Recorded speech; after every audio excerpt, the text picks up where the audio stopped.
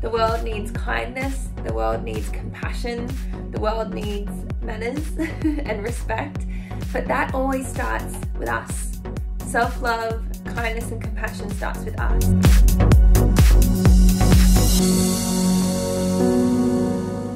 Hello!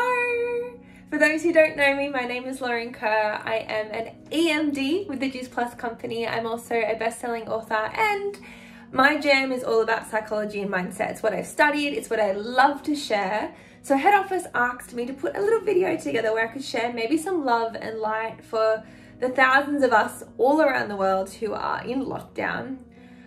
It is a crazy time in the world. Totally get it. And I don't know if there's much I can say that's going to change our circumstances. That's probably a conversation for another day. But I did want to just come in with a quick 10 minute video or maybe some things that you could be doing in this time right now to keep your spirits high, to keep yourself and your health and your happiness in check. And just a nice little video you may be able to send to someone who may be on your heart to let them know that you're thinking of them too. So I think now more than ever, the world needs kindness, the world needs compassion, the world needs manners and respect. But that always starts with us. Self love, kindness, and compassion starts with us. So some little things that you may be able to do. I'm going to challenge your mindset in a few things. I'm going to share with you some simple hacks not everyone can do no matter where in the world you are. The first thing I would encourage you to do is challenge yourself to think about how can you use this time as a gift.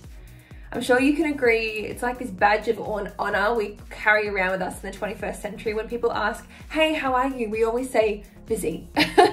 I have erased busy from my vocabulary. Instead, I say full because I think life is full sounds way more abundant. But so many of us always use time as a reason why we haven't done what we wanted to do. So if you've been gifted with some more time right now, I challenge you firstly to ask yourself, what is something that's been, you keep putting on the back burner because you just haven't had the time to do it? And how can you use this time as an opportunity to get ahead? Whether it's cleaning out the drawers. It is looking into that course that you said you wanted to do. Maybe it was getting all your stuff sorted for the end of financial year.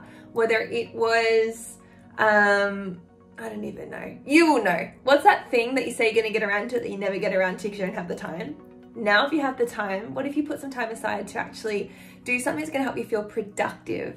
And I'm going to give you, there's four happy hormones. There's four hormones that we really want to focus on that's going to help you lift your spirits. I'm going to give you tangible things that you can do in this time to help you be in control of those hormones and help you bring them on or welcome them so you can feel a certain way. So dopamine, or dopamine is a reward chemical that you release when you feel like you've done something good. So if it is something that you want to do that's on your checklist, it's been on your to-do list forever, tick it off, feel productive. I think sometimes we get, when our day-to-day life is put on pause, we fall into a slump at home and we lose we lose our boundaries.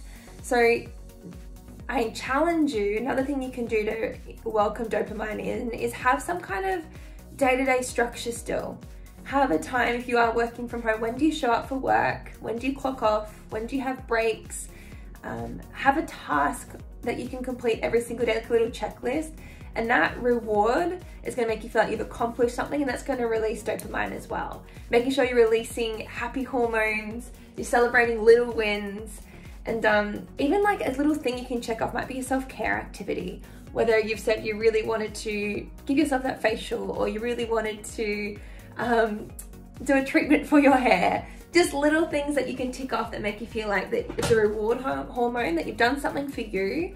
And having that structure and having those boundaries help you feel like you're still day to day still showing up and you've got some kind of purpose or you've got some kind of intention with your day and then it all just merge into one. The second hormone that I would love to help you guys release is the love hormone being oxytocin.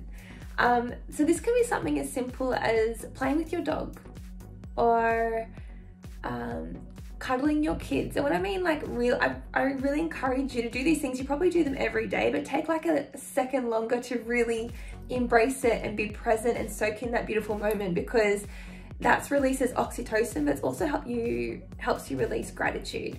And you can't feel gratitude and frustration or gratitude and despair or gratitude and anger at the same time. It's just not physically or psychologically possible.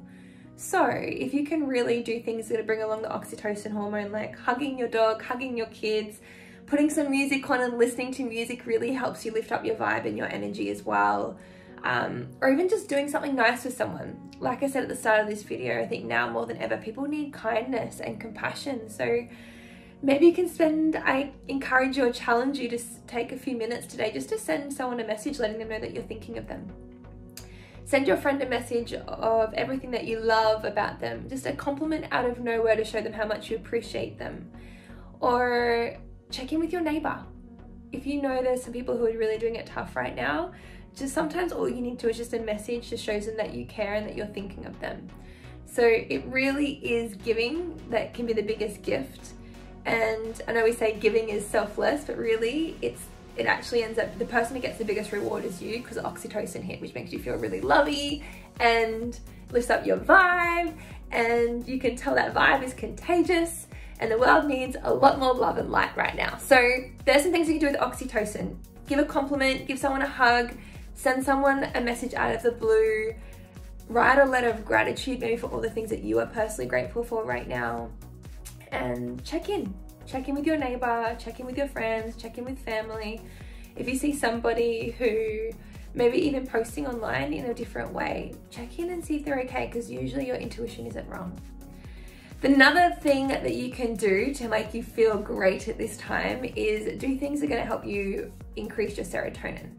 So I know everyone's in different, different circumstances, but if you can get outside right now, sunshine is a way to release serotonin. I'm um, getting in nature, going a walk around the block, sitting on the grass, like just really taking a big breath and being present and grounding in nature and just feeling really at one. I know sometimes we get so caught up, especially with media. We, we breathe really shallow, we get anxious. And one of the best things you can do is just turn off all screens, disconnect and go ground in nature, whether it's five minutes, whether it's half an hour, we can go for a walk around the block.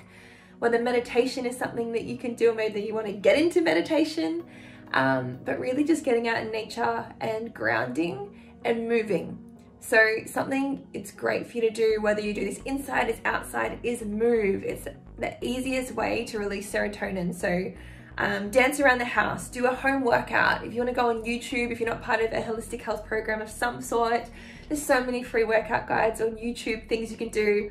I know when I went home once in lockdown, me and mum were doing one on um, an aerobic class in our lounge room together and it was good, it was so much fun. Um, but walking, running, dancing, home workouts, move your body. Um, it's the easiest way to release serotonin, which is going to make you feel good. And when you feel good, you do good. And don't wait till you feel a certain way to take action. So many of us are like, we'll do that thing that we said we're going to do when we feel inspired or energized. Or we'll show up and we'll we'll be compassionate and we'll check in on that person when we're okay. Or we will move we'll exercise when we're and we'll move when we when we feel like it.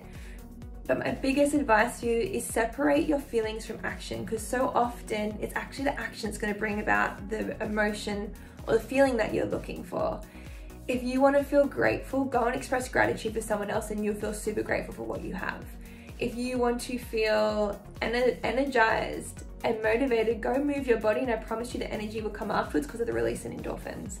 Um, if you want to have that, if you want to feel loved, go love yourself first and do something on your self-care or your joy menu and that's what's going to release the dopamine that's going to make you feel so loved. So my little mindset tip or hack for you is don't wait till you feel a certain way to go take action.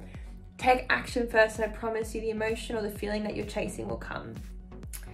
And my last tip or trick for you is a really easy one to help you release endorphins. Yes, move your body every day, even if you're in lockdown. Yes, eat healthy where you can. Yes, have boundaries where you can and still like set goals, try have a task a day so you're still task orientated and you feel like you're making traction towards something you have purpose. But it's okay to slow down. It's okay to sit on the couch and have a nice dark chocolate. That's gonna release your endorphins. Um, sitting on the couch and watching a feel good movie, put a comedy on with your partner, or if you're by yourself or with the kids, laugh, watch a comedy. Um, I know something that we used to do as kids is used to sit there and somebody would get up and try to do something funny and the game was you couldn't laugh, that you could not laugh. The person who laughed lost and had to go up and try and make everyone laugh next. So yes, try to be disciplined where you can. Yes, take action where you can. Yes, practice self-compassion where you can.